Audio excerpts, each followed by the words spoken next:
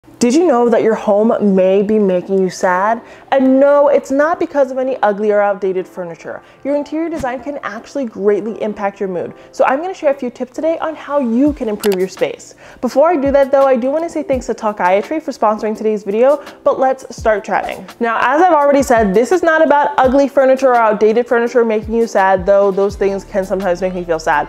I'm actually talking about true things that can impact your mental health that you may not know about. The first reason why your home may be making you feel sad is that you have too many work items and screens in the bedroom. In an ideal world, I would tell absolutely everyone no work materials in the bedroom. It is very hard to rest and relax when you're thinking about that email someone sent at 11:59 um, p.m. or you're thinking about that meeting tomorrow. It is so much easier to rest and relax when those things are out of sight and out of mind. Now, the solution to that is to not bring work materials into the bedroom, and that is easier said than done, especially if you live in a smaller space. So, what I want you to start doing, if that is the case for you, if you have to bring work into the bedroom just because that's where your office is in your home, I want you to do some things to visually divide your bedroom from your office space. That could be as simple as using lighting to segment the space, rugs, an accent wall, a room divider. Do something that visually denotes to you, that visually signals to you, okay, this area is for work and this area is for me time. You have to have that separation just for your general well-being. This isn't just about office materials, this is also about screens in general because they're lighting up and they're engaging. Now this doesn't apply to everyone, okay, but I will say this this. If you are on your phone watching something really exhilarating at nighttime, say you're watching Jumanji, it's a lot harder to fall asleep than if you're falling asleep without a screen in front of your face and perhaps a book instead, right? So the screens can cause us just to be a little bit too excited, a little bit too exhilarated in a space that again is supposed to pr promote rest and relaxation. So you may want to eliminate those if you're just feeling a little bit too energetic before bedtime. The next reason why your home may be making you feel sad is that you are obscuring the natural light. Natural light is something that we all need. We all need natural light because uh, obviously light has a lot to do with how we feel. Just think about when it is nice and sunny outside, there's a smile on your face, you want to get outdoors. And when it's gloomy, and it's gloomy a lot here in Pittsburgh, for too many days in a row, you maybe start to feel a little bit sad or you're just not as excited because there isn't something wonderful to look at outside. So natural light is very beneficial to us. And again, I'm not breaking down any of the science of this or any of that. I'm just saying these are just the human experiences that we all share. So with that being said, if you're obscuring the natural light, you're doing yourself a disservice. One way people are obscuring natural light is that they're just hanging their curtains incorrectly.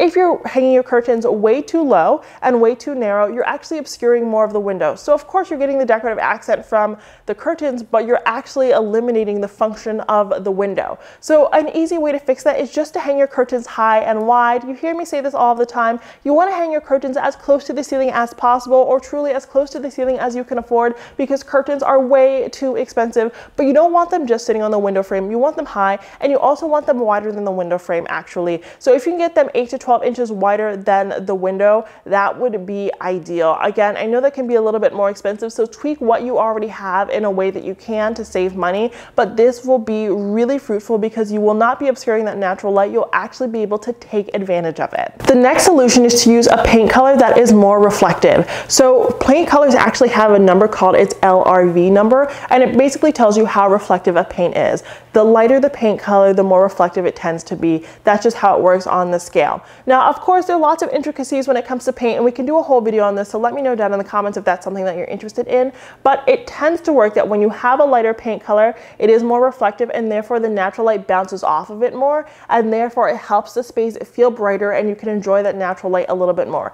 Again, it's a little bit more nuanced than that, but that is a tip that you can use if you're struggling with natural light in your space. Another way to better take advantage of the natural light is to be strategic with your mirror placement. Now I've talked about this before, but mirrors reflect whatever is opposite them, right? That is the purpose of a mirror and we love them for that. So if you put a mirror opposite a window, it's going to reflect all that natural light coming out of the window and therefore it is going to display even more window, right? I just explained how a mirror worked, but it was useful for the sake of this video. So this will actually help amplify the natural light that you have and that is why we love mirrors. The same thing actually goes with glass furniture as well. Like I know that not everyone loves to use glass, but of course when when light hits glass, it reflects the light, and then we see all nice, beautiful sprinkles of light. So that is also something to take into consideration too if you want to amplify the natural light in your home. And last but certainly not least, you can compensate for your lack of natural light with artificial light. You should be layering light throughout your home. I talk about this all the time. You should have ceiling lights, you should have puck lights, you should have chandeliers, you should have accent lights, you should have table lights, you should have LED light strips, you should have all of the lights. Your house should look like Saturday Night Fever, like you're at the disco. That's how many lights you should have in your home. Very important to have artificial lighting even when we do have natural lighting because the sun does go down. It goes down every single day. That is just the way the world works. So we do want to supplement with artificial lighting as well and this should really help. And again, in your own space, if you're struggling a little bit with light um, and you're not feeling like you're getting enough daylight, use a smart light bulb. They actually do have settings that do emulate natural light. So you can actually get the, the essence of natural light without actually having to have the sun out or windows. As we move through today's video, I hope you can see the importance of considering your mental health when designing your home. Your mental health should be a priority when it comes to interior design and all of the time too. Unfortunately, 60% of Americans with diagnosable mental illnesses go untreated each year partly due to the fact that it can be so difficult to find a psychiatrist that actually takes your insurance. That is why I'm so excited to talk to you today about Talkiatry. Talkiatry is a virtual mental health service with 300 plus psychiatrists that take insurance. Getting started with Talkiatry is super simple. First, you need to take their online assessment. It takes about 15 minutes. Then you're matched up with a psychiatrist that meets your needs, fits your schedule, and takes your insurance. Then you can have your first appointment in days. Talkiatry is also all about flexible scheduling, so you can have your appointment in between meetings or during your lunch break, whatever works for you. If you've been struggling with your mental health, give Talkiatry a try. Head to talkiatry.com and see if Talkiatry will work for you.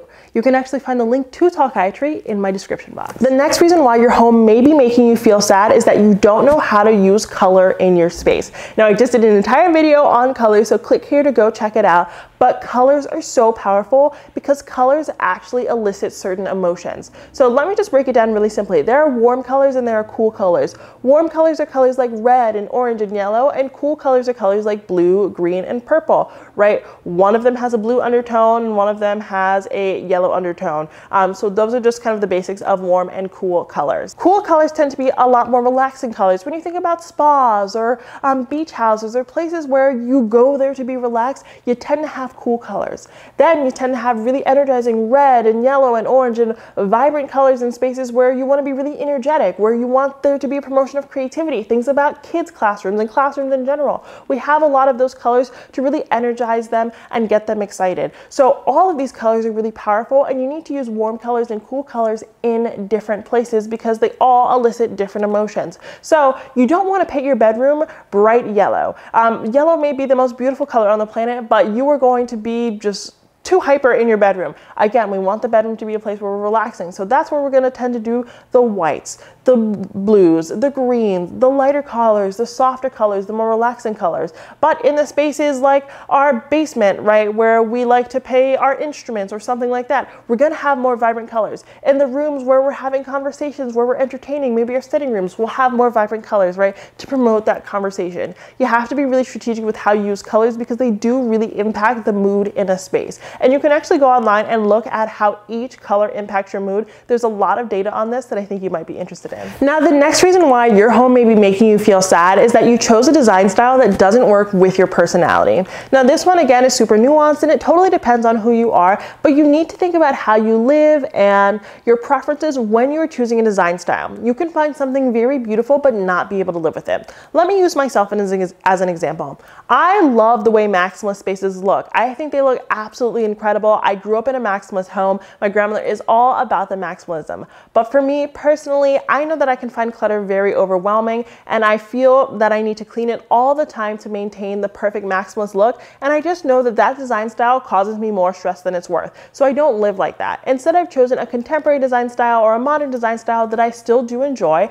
that I do find to be more aesthetically pleasing, but just kind of works well with who I am as a person. I've chosen something that is non-stress and something that I do enjoy. And that's very important when it comes to choosing design style. I always like to tell people, my clients, everyone, that you can like a design style and you may not be able to live with it. So when you're selecting design style, just think about all of the work that goes into curating this space, um, how long it takes, how costly it is, what it's like to maintain it. Those are things you need to take into consideration before selecting your design style. The next reason why your home may be making you feel sad is that your space lacks personality because it's all neutral. I know, I know, I know. I, I can't even believe I'm saying this, but all neutral interiors aren't always the right way. Neutral interiors are trending a big time online right now, and rightfully so. We're really enjoying the beige, the all white, all of this and all of that, but it lacks personality. There are no pictures on the wall, there are no colors, um, there's no visual interest. We're not using the colors in the ways that we spoke about earlier to get that energetic recharge, to feel inspired or anything like that. Everything looks sort of bland, and bland works for a lot of people. Bland works for me, but for some people, that is just no way to live. So you might want to abandon the all neutrals. You can experiment with color and color not be, you know, a dominating thing in your home. Having a colorful home doesn't mean you need to paint your walls rainbow. It can be as simple as integrating blue, um, having blue decorative accents, using lighting that is colored. Very simple changes like that can really improve the space. One of my favorite ways actually to add a little bit of color to a space is to just use plants, right? They're natural colors. It's not like you're putting blue up on the wall or green up on the wall or anything like that. You're just using flowers and plants to add a little bit of greenery or pink or whatever color they come in and it's fleeting, right? Because they die. So if it's too much for you, you only have five days anyway and then you never have to do it ever again. Plus another benefit of plants is plants are actually purifying to the air and that's very good for you as well. Clean air just helps you live better and is better for your lungs. Another way obviously to add colors just through decorative accents. Do it on a smaller scale. You don't need to get colorful artwork or at, paint the walls or paint the floors or paint your ceiling or paint your cabinets. Just do something simple and integrate color in a very subtle way. Then see if you like it. If you like it, keep adding more, but I think this will really help. We need to get rid of all the all neutral interiors because all neutral doesn't work for everybody. Okay, you guys, that is it for today's video. Those were a few reasons why your home may be making you feel sad. I gave you a few solutions though, so your home will not be making you feel sad for long. And remember that if you are interested in giving Talkiatry a try, just click the link down in my description box. Thank you so much for watching and until next time, have a beautiful day.